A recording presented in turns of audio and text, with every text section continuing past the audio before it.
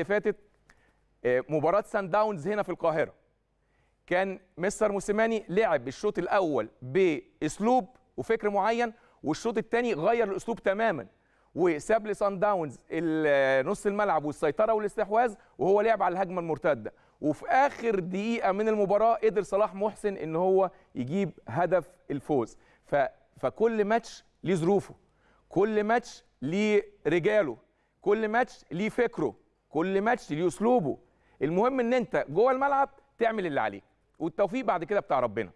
بمناسبة ماتش النهارده عاوز أقول إن هدفنا إن شاء الله البطولة رقم 11 البطولة رقم 11 طبعا النهارده النادي الأهلي آه، عايز أقول النهارده بيمثل مصر. زي ما نادي الزمالك بيمثل مصر. زي ما بيراميدز والمصري بيمثلوا مصر.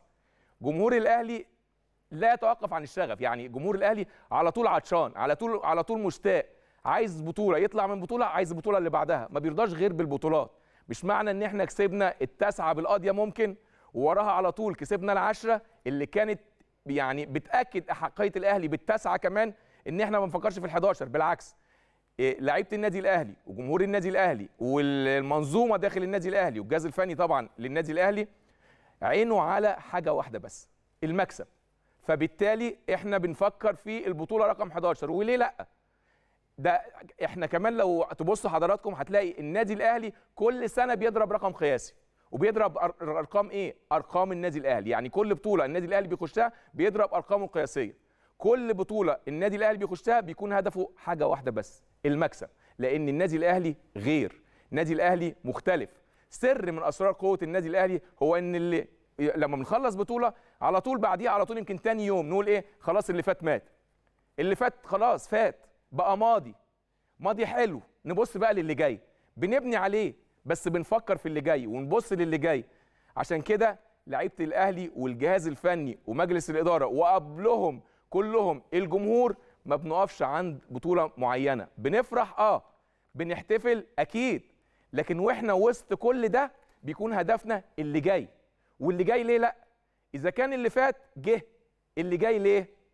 ما يجيش تاني. لا مفيش حاجة مستحيلة. إن شاء الله إن شاء الله كلنا أمل كبير في ربنا وأمل وثقة في لعيبتنا والجهاز الفني.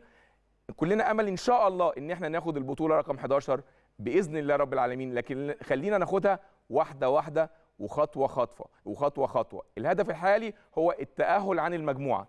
وعشان نتأهل محتاج أكيد تكسب الماتشات اللي على أرضك كلها زي ماتش النهارده وتحقق نتائج إيجابية في الماتشات خارج أرضك.